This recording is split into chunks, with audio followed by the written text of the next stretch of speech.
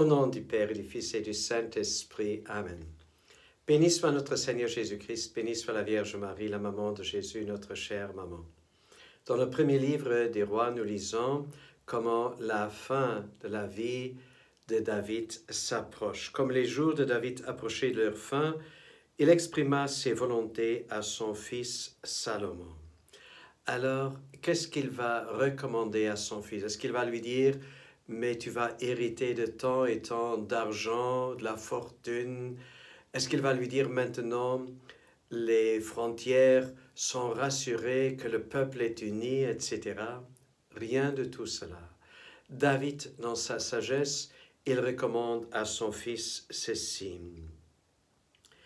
Tu garderas les observances du Seigneur ton Dieu en marchant dans ses chemins. Tu observeras ses décrets, ses commandements, ses ordonnances et ses édits, selon ce qui est écrit dans la loi de Moïse. Ainsi, tu réussiras dans tout ce que tu feras et entreprendras, et le Seigneur réalisera cette parole qu'il m'a dite. Chers frères et sœurs, en observant la volonté de Dieu, ses commandements, nous sommes dans la bénédiction de Dieu et nous allons réussir dans tout ce que nous entreprenons et tout ce que nous faisons. Que nous puissions garder les commandements de Dieu, vivre sous sa bénédiction et marcher humblement avec lui, au nom du Père, du Fils et du Saint-Esprit. À nous tous, une bonne et une sainte journée.